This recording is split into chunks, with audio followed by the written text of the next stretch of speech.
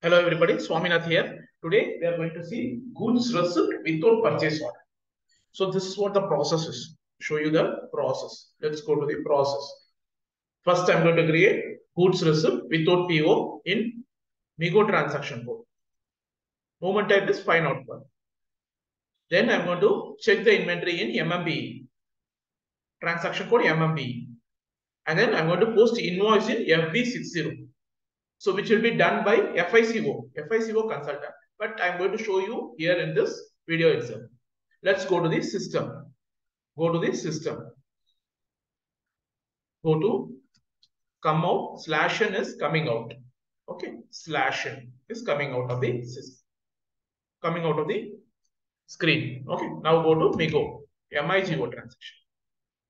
Okay, goods receipt other. Movement type is 501. 501 is my moment type.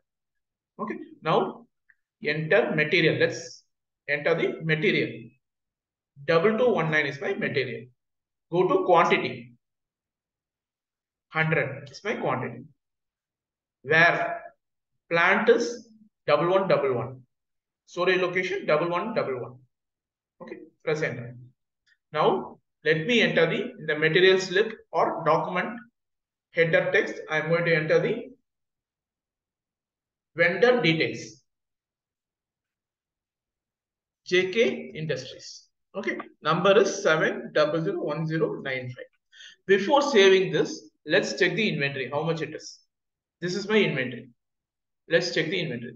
2219.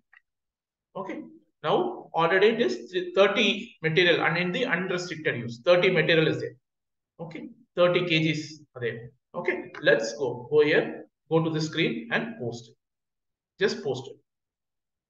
So now I have posted it. Let's go to that screen in MMBE screen, inventory check screen. Refresh this. Refresh this. It should be 130. So inventory got updated without raising the purchase order. Now let's go to the FB60. FB60. I just have to pay to the vendor for supplying the material. This is my material. 7001095 is my material. Present. Invoice date. Present.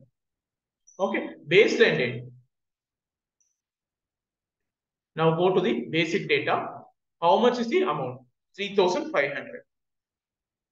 Okay. Enter the GL account details same 3500 3500 so now i'm not going to save it with the tax.